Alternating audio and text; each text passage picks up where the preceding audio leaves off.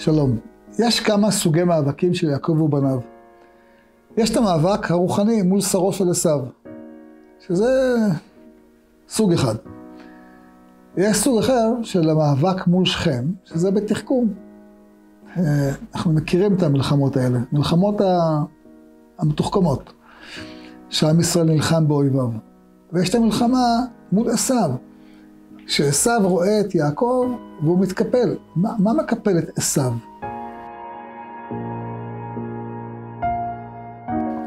אז יש תיאור שכתוב, שנקרא לכם את הפסוק, ויקח עשיו את נשיו ואת בניו ואת בנותיו ואת כל נפשות ביתו ואת מקנהו ואת כל בהמתו ואת כל קניינו אשר רכש בארץ כנען. יש פה תיאור של הרבה, נכון? מפורט מדי.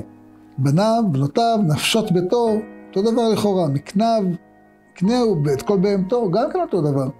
ואת כל קניינו, את הכל אתה יכול לומר במשפט אחד. רוצים להדגיש פה את הריבוי שלא מתלכד. חכמינו אמרו, נפשות ביתו כתוב פה, אצל יעקב כתוב נפש. כל הנפש הבאה למצרים שבעים נפש. למה? כי פה הם מפורדים ואצל יעקב הם מלוכדים. אתה מתפלא, אצל יעקב הם מלוכדים, אצל יעקב הרי יוסף ואחיו זה הרי מחלוקת גמורה, איך אתה קורא לזה מלוכדים? כן, נכון, הייתה מחלוקת והצליחו להתגבר עליה ולהיות מלוכדים בסוף. וזה מה שגרם להם לנצח. גם פה בפרשה.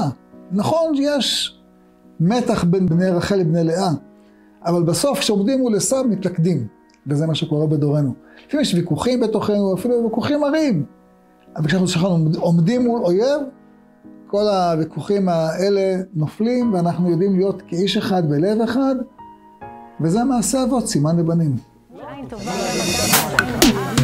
Moment of Wisdom. Some brief and life changing moments. Join us. Subscribe to Moment of Wisdom channels on YouTube, Telegram, Facebook, Instagram, and WhatsApp.